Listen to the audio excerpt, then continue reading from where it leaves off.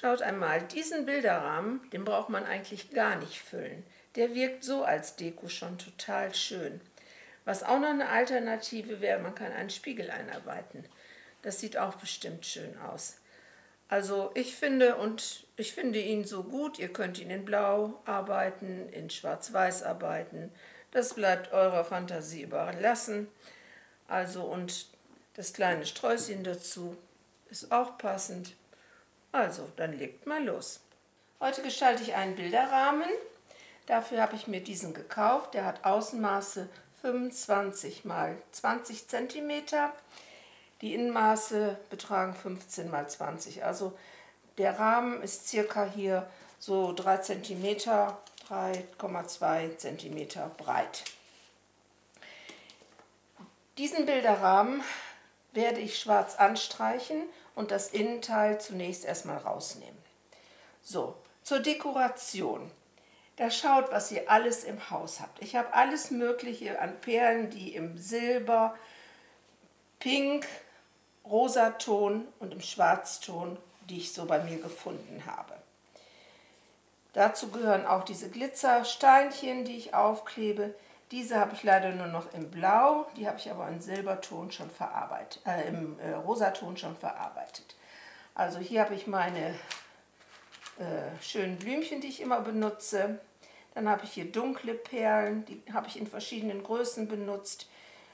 Dies sind Klebesteine, dies sind so äh, Glitzersteinchen, die man selber, die selber haften. Da kann ich diese auch zu nehmen oder hier solche Glitzersteinchen gibt es. Perlen habe ich, wie gesagt, in unterschiedlichen Größen in den Rosatönen, rosa und pinktönen. Dann habe ich mal so eine Geschenkpackung gehabt, da konnten die Kinder sich was rausbasteln. Da waren längliche Perlen drin, rundliche, auch spitze, die habe ich noch verarbeitet. Dann gibt es oft so Blümchen, die man kaufen kann in der Packung in verschiedenen Farben. Da habe ich mir die rosa und äh, pinken Töne rausgesucht.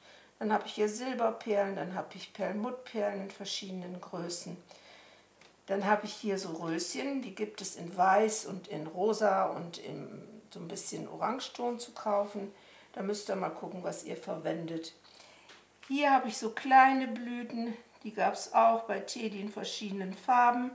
Die hatte ich in blau, in äh, gelb, in grün, gold und rot. Dann habe ich hier Spiegelsteinchen, die ihr benutzen könnt, wenn ihr die habt. Hier habe ich kleine silberne Blütenblätter, die ich noch benutzen kann. Also schaut mal, was ihr so habt. Filzblumen habe ich auch verarbeitet, kleine, da habe ich, die zeige ich euch gleich. Die habe ich schon aufgeklebt. Die gibt es auch günstig in diesen Bastelgeschäften. Schaut mal, was ihr daheim habt. Jedes Werk ist jetzt natürlich dann ein Unikat. Natürlich benutze ich auch den Heißkleber und eine Schere. Äh, was ich noch sagen wollte, dieses hier sind kleine Unterlegscheiben, die habe ich auf Alufolie geklebt und dann diesen Raindrop, den gibt es auch in diesen Bastelgeschäften, den gibt es in grün, in, in durchsichtig, in schwarz von innen reingesetzt solche Teile verwende ich oft so als Blüteninnenteil. Bei diesen kleinen Blüten kann man noch so eine Indianerperle einkleben, wer möchte. Ansonsten ja, setzt man sie einfach mit dem Kleber so auf. Und bei diesen Granulatsteinen habe ich die kleinere Sorte äh, genommen. Die hat so ungefähr Maße von 1,5 cm, also nicht größer. Ich habe auch schon größere verarbeitet. Aber diese sind eigentlich ganz praktisch. Mit diesen kann man so die Lücken ganz gut füllen. Zunächst entferne ich das Innenteil. So, was ihr dann nachher reinsetzt, ein Bild oder ein Foto oder ein Herzchen, das bleibt euch dann ganz überlassen. Das lege ich jetzt erstmal zur Seite. Und dann streiche ich den Rahmen, also dieser ist blau, ich finde, man könnte ihn auch so fast lassen, aber ich streiche ihn nochmal in schwarz rundherum, vor allen Dingen auch hier und die Seitenteile und dann lasse ich ihn trocknen.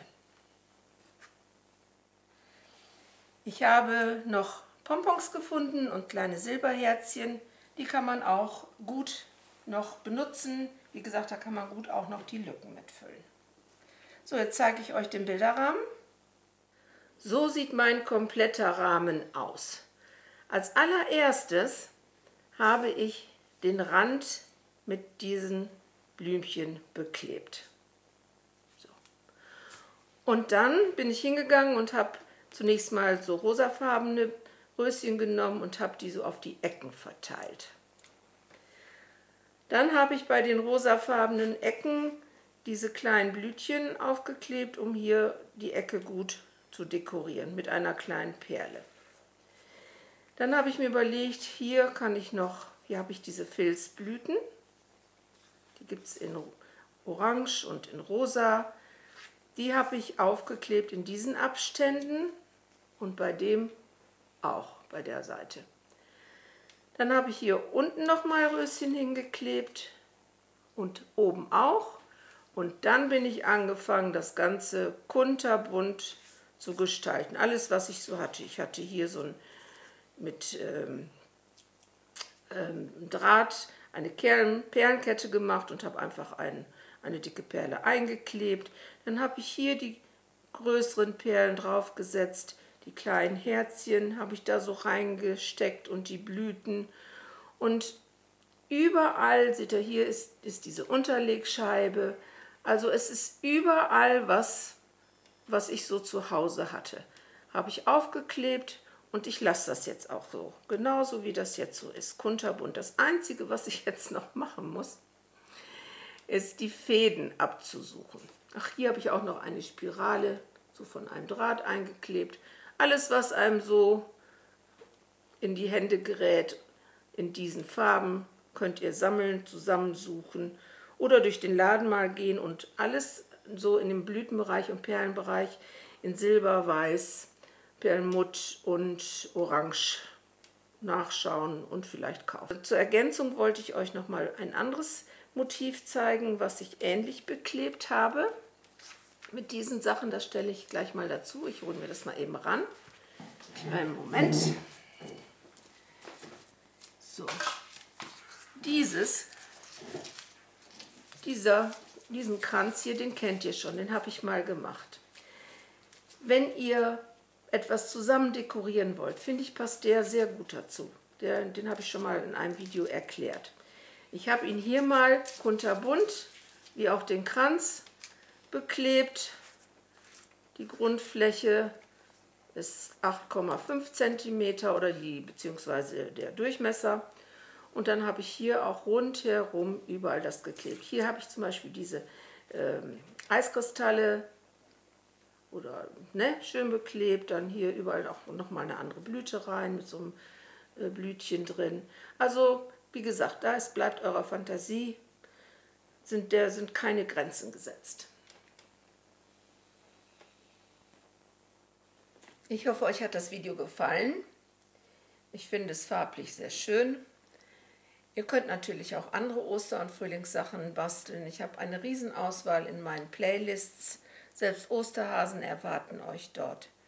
Macht euch eine schöne Bastelzeit. Ich wünsche euch viel Spaß dabei. Ich würde mich natürlich über einen Daumen nach oben und über ein Abo freuen. Ja, wir sehen uns bald wieder. Bis dann.